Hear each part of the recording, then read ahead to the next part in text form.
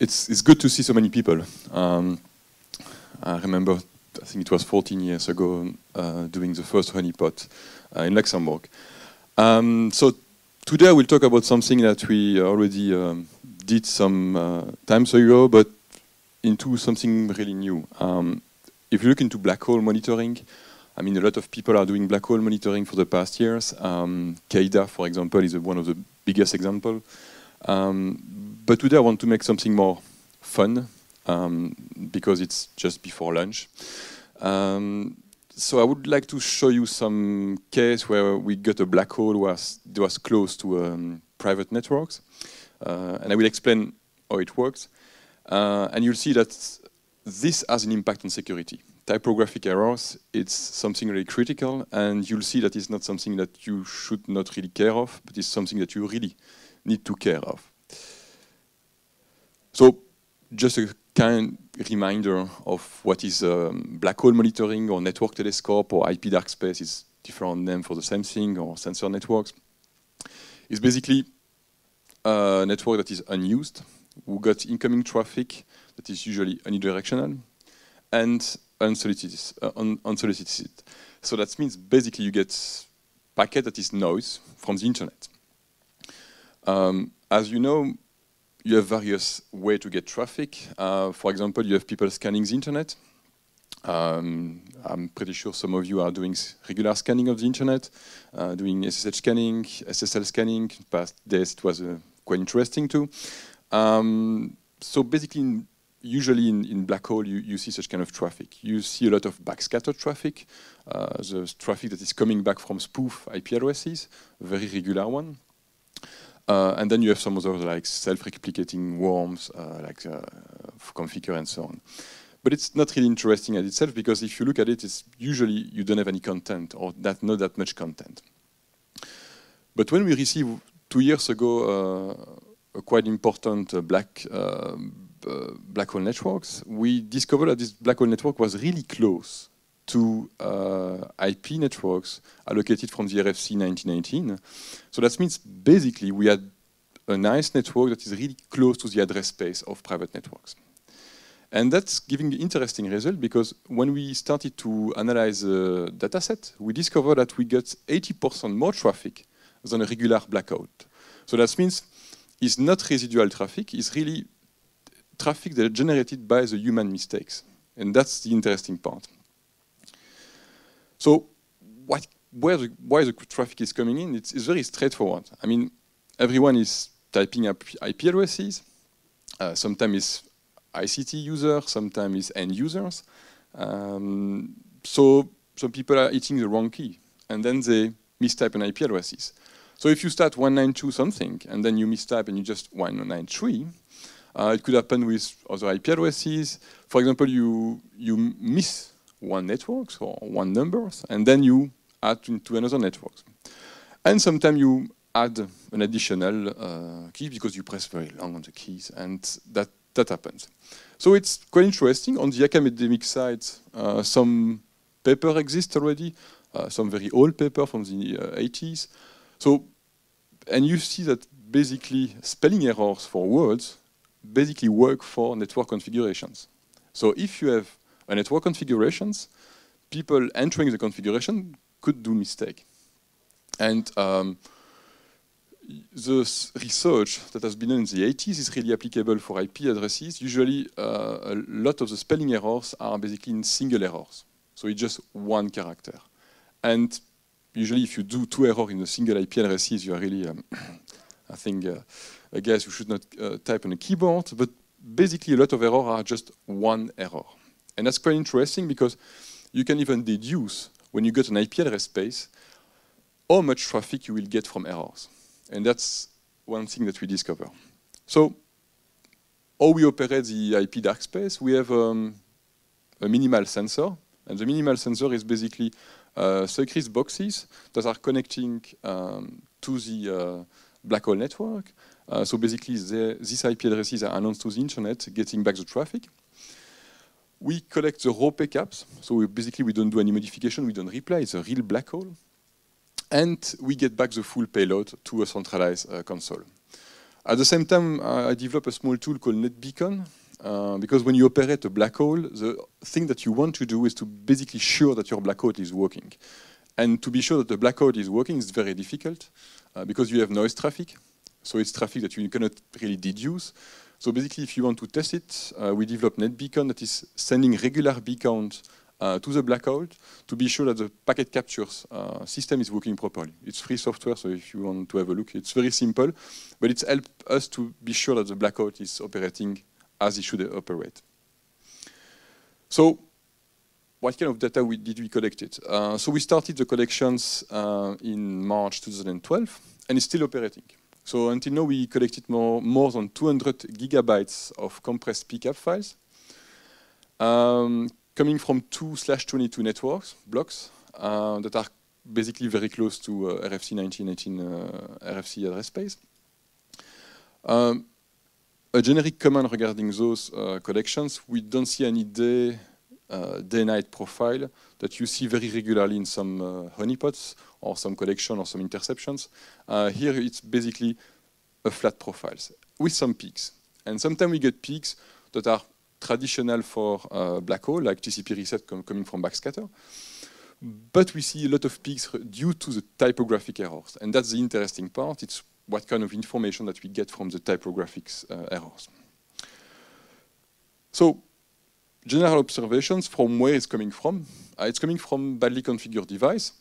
Uh, it could be everything. Printers, embedded device, uh, frigo box, beamer, routers, whatever you want, to name it, it's connected to the internet and it will generate some traffic. Um, a very common thing that we see is a lot of uh, name resolutions going to non-existing DNS server. Uh, I will explain why it's quite interesting because it can generate a lot of interesting uh, input for that. NTP request, uh, SNMP request, uh, for example, syslog messages, those ones are very interesting. Um, and that's the concept. A lot of people say when they, are, uh, they see black holes, oh, it's not really interesting to operate black hole because there is no payload. Uh, it's not really true. I mean, you don't have payload, uh, usually for TCP, you don't have payload, but it's not always the case too for typographic error. Um, we have a huge set of uh, IP packets with TCP datagram inside containing payloads, even if it's a black hole. Why it's like that? It's because, for example, some asymmetric routings are misconfigured, and some packets are coming back to the black hole. And then you get full payload. And the interesting part, usually payload, if they are close to private network, is not payload coming from the internet, but it's basically payload coming from internal networks. So you, you might see some really sensitive information inside those. Um, some of the things that we, we have discovered, for example, you have people running HP OpenView, misconfiguring the, some IP addresses for the reconnaissance tool, and then we get back some data the, the thing that is quite interesting is you can enumerate internal networks without even touching those networks. You can have a look at what a company has directly just by looking at those um, data. So it's quite, quite interesting. So the general thing that you can have a look at first is basically from which country is coming from. If you look at the, which, the country of origin is usually country that have good internet connectivity or a lot of IP addresses allocated. So the distributions is, make sense. It's basically a whole distributions of the allocation. So basically, for example, US, Brazil, uh, China, and so on will come first because they have a huge IP space allocated to them. So the probability to get IP addresses, uh, to, be, to get packets from those networks is quite high. Interesting part, for example, China, China um, they don't filter out those packets. Uh, they filter out some other packets, but leaked packets, they don't filter out them. And it's quite interesting too. So it's a general statement, so we can see that it's quite distributed among, among the world. So if you look at DNS, what kind of DNS that we get? Oh, plenty of DNS requests. So um, here you, you, just see requests for one month. So for example, you see plenty of text record requests uh, coming from internal server trying to resolve domain controllers. Plenty of Apple systems trying to synchronize their times. Uh, interesting part too, uh, you have those wonderful search lists in DNS. So basically you get uh, time.euro.apple.com dot your name, your name, uh, local domains. Plenty of OCSP uh, requests from various CM. Uh, but the thing that is very interesting with DNS, um, DNS is designed to be very reliable, even if you have two name servers not working in your list.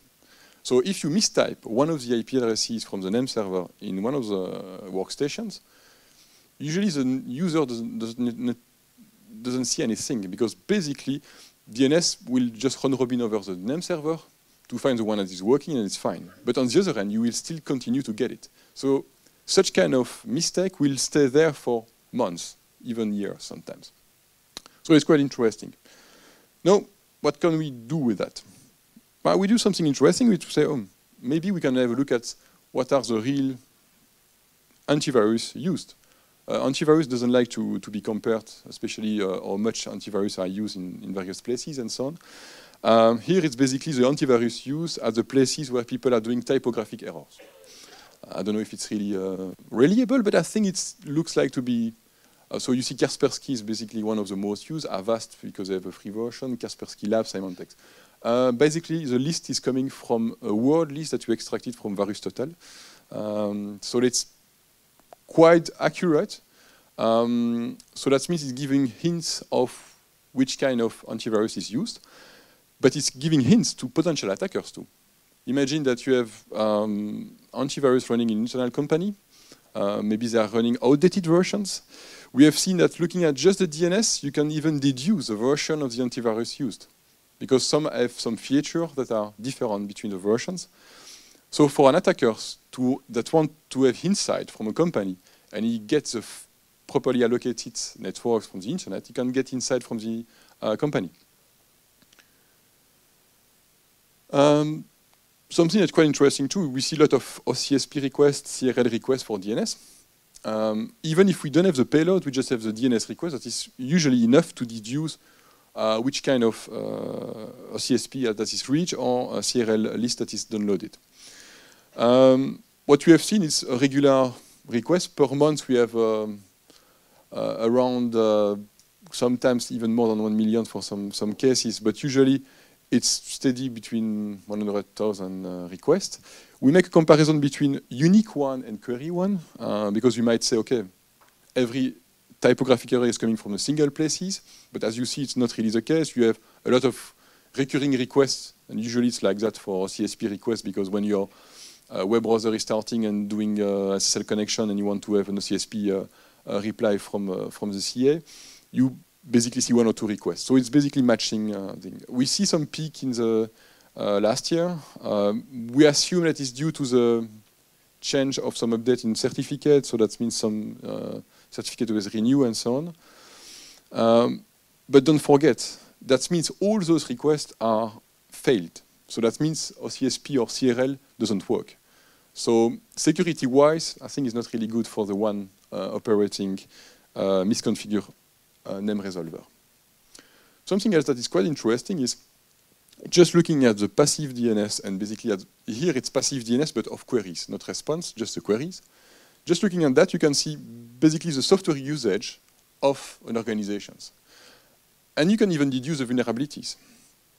Uh, if you do CV search on software and what is going on and so on, it's very interesting because you can even see if uh, when at which rate people are doing update and if they are doing update. Um, and you can even see if they are misconfigure their DNS only one time or multiple time. Now, if you look at it, that means we receive those DNS requests. Um, but imagine, uh, I'm not evil. I'm just uh, working for a national cert, so we want to aware people about security problems. But on the other hand, if someone is getting from the rear, from RIPE, from ARIN, an IP address allocated that is close to a private networks, could they do? They could answer DNS requests. They could say, I'm getting the update for the software that you have. So maybe you can even infect people indirectly. So no, I'll let you bet, but if you look at all the software update processes, not that much processes are properly good for checking the integrity of the source. Sometimes they are just downloading files without any checking even a hash or even checking a certificate or whatever for the update. So what, what will happen? It's quite interesting. Um, something interesting too, we, we just separated Apple product. Um, and we see um, that, for example, for iTunes, um, they have a specific domain for buying tunes. Uh, so it looks like you can be used this for a man-in-the-middle attack. Uh, if you reply to such DNS request, might be interesting for, for an attacker perspective. Other stuff, um, you get plenty of requests regarding server names, domain names, and so on, tons of them. So if you want to, to make a DNS brute forcer, well, you have names. Here you have the names that are really used by companies and so on. So you can use this as a data set for building your smart uh, brute, force, brute forcer. That's one way to use the data, for example. Uh, on one week, what kind of NetBIOS machine type that we get? So, um, for example, a lot of workstations, for sure. Uh, still a lot of server. So a lot of server still have their DNS misconfigured. Some domain controller, browser server, mm -mm, not really good. So if we reply back to those one, it might be dangerous for the um, misconfigured machines. This one is fun. Um, this one started at the early beginning that we started with a black hole. Uh, it's a printer. Uh, we see that at some point in time the printer has a problem. Uh, was offline. Um, 10 days after, paper out, guys. Um, but in August, the printer came back, paper jam. Intervention is needed. Okay, so this one is a nice example because it's just a printer. Um, if you look at an attacker's perspective, you can say, hey, might be used for social engineering. Do you have a problem with the printer? Yeah. Ah, yes, we, we are close to replace it. Oh, yes, come on and we will replace the printer and, and put some exploit in the printer or whatever. So it's quite interesting, but we have worked than that. This one, for example. Um, you know that sometimes you have to follow regulations, uh, for example, PCI DSS or whatever is a standard, and one of the requirements is to do auditing. So you have to audit your routers. Very important. Uh, these guys did, did so. Huh? He, for example, enable syslog for all the command line that is typed on the router. Very useful. If you have an attacker and after a compromission to do the analysis, very useful. Uh, but don't mistype the syslog server, guys. It's not really good. So what we got uh, is basically a huge, and this one was a huge router, uh, from an operator uh, sending syslog to the internet. Uh, I'll let you guess the data afterwards, but you had template for authentications, radio server keys, and stuff like that. Um, when we contacted the organization, the telecom operator behind, first answer from them was, oh, how do you get the data? Did, did you do something like compromise us? No, no, no, no, it's just coming to the internet. What? so they change the configuration, but it's not the only one. Um, so a lot of a lot of information like that is, I think, can be misused uh, by attackers, can be misused by various people. You never know where all the data is, is, coming back. But if you already send the data through the internet in clear text, uh, even if it's not catched by the black hole, but it might be catched by someone else. I'll let you guess who, but maybe by those one, for example. Um, Okay, this one is a slide that everyone was asking at the office. Should we put it or not? So, okay, guys here are trusted, so I think it's fine. Uh, in April last year, we got a real peak, a lot of ICMP time exceeded in transit uh, that we received during two hours, a lot of them. Um, at the beginning, we're, oh, okay, it's again uh, backscatter traffic and so on. And then we start to look into deeply into, into it. And what we discover, it's basically ICMP packets uh, coming back from plenty of ADSL internet um, provider in um, Iranian, in Iran. So the question was, wait, what's that? Then we do some uh, statistics, distribution, and so on. It's basically 20% of all internet users from Iran were listed there. Well, what's that? So then we were starting to look into bugs, like if you configure a router, how do you reach such kind of bugs? And it's straight, straightforward. If you have Cisco router or Juniper router, and you configure a transparent proxy, and you mistype the IP address of the transparent proxy, instead of using the RFC 1990 address, you mistype it, and then you type the one from the black hole. Bingo, what those guys are doing is basically they were enabling interceptions or changing their configuration, but they mistype one character. Um, so now the question as a third, should we contact the Iranian CERT to tell them, hey guys, your interception is not well configured? uh, we didn't. Uh, but after two hours, it was away. So I suppose a lot of end user complained, or they broke the internet. Um, so in this case, they really bro broke the internet. But you see the impact is very interesting. Um, in the dataset that we have, we, we look into it and we have seen plenty of very interesting things, but usually it's very difficult to know where it's coming from. Uh, sometimes we have UDP payload with encryptions, random packets. Uh, for example, you can have governmental domain names inside. It's very difficult to even know the exact origin of the packet.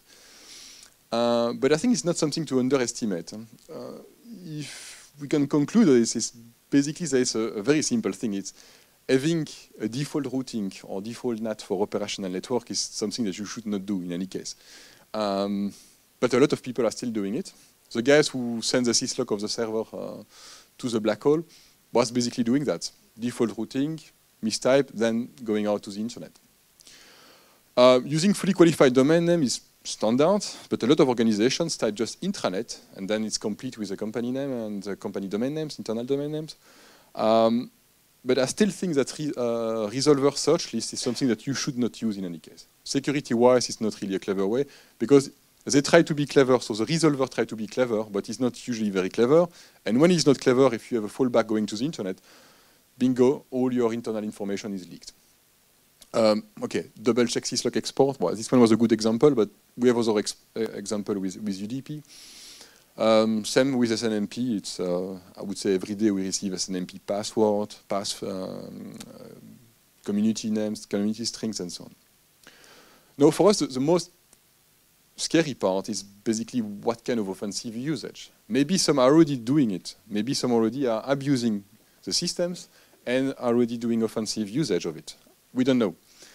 But what we, we try to do right now is to make a kind of uh, tools where you can enter an IP addresses allocated from your uh, regional internet registry.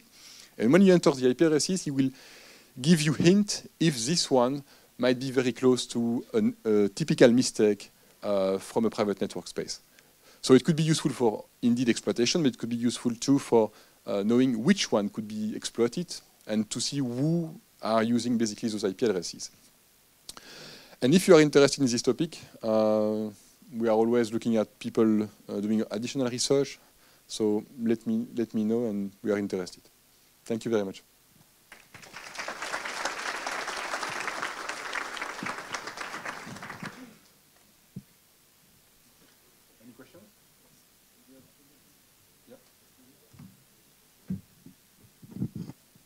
Questions? I'm curious. No one is doing typo here. Wow.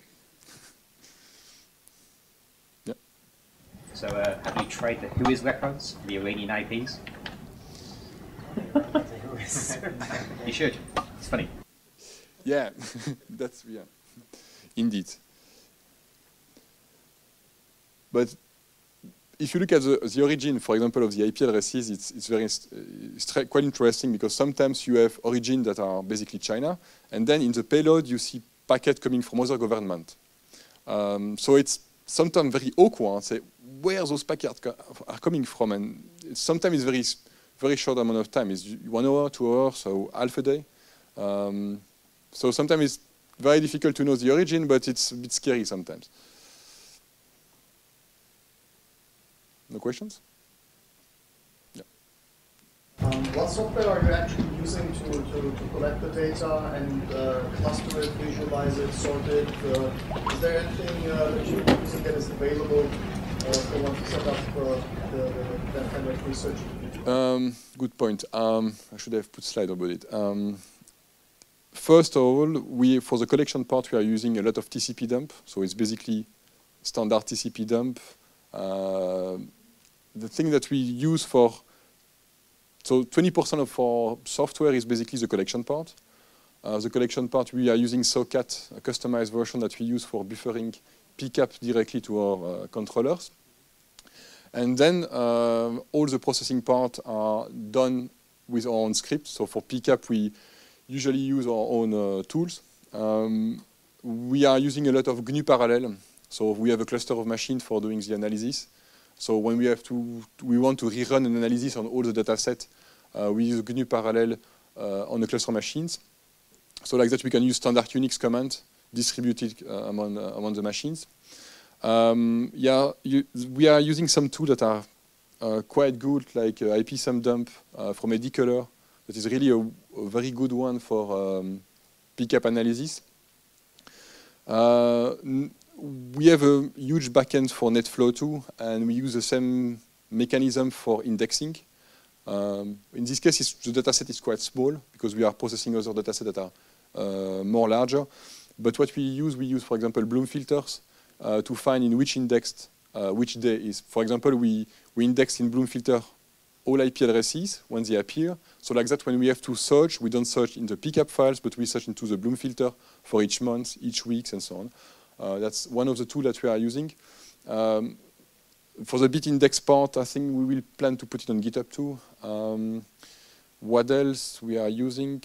Um, we are using a lot of, of Gephi. So for example, we export in, in JSON or uh, in GraphML format some data, and then we use Gephi to see what's going on for relationship between IP addresses and so on.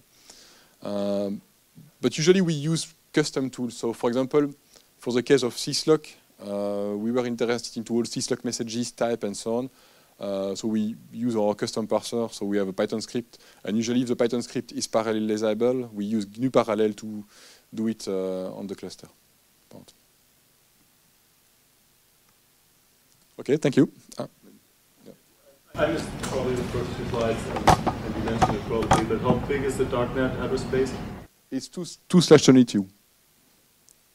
Um, if someone has a darknet to rent, between brackets, uh, that is close to some RFC 1918, we are still interested too, uh, to see if, depending of which kind of uh, private networks in used, uh, if they have more traffic or less traffic. So, so like that we can refine the models to, need, to know if it's, for example, for 192.168 or 10 dot something, uh, you have a huge difference because it's depending of what kind of allocation people are doing internally for networks. We can even do even some statistic about that. Um, what kind of network? We have a paper that we we, get, uh, we gave I think next week or this week at TNC Terena, uh, where we have more details about the uh, typographic errors per subnet. Uh, but if we have larger subnet, we are al always interested too for, for research. Thank you.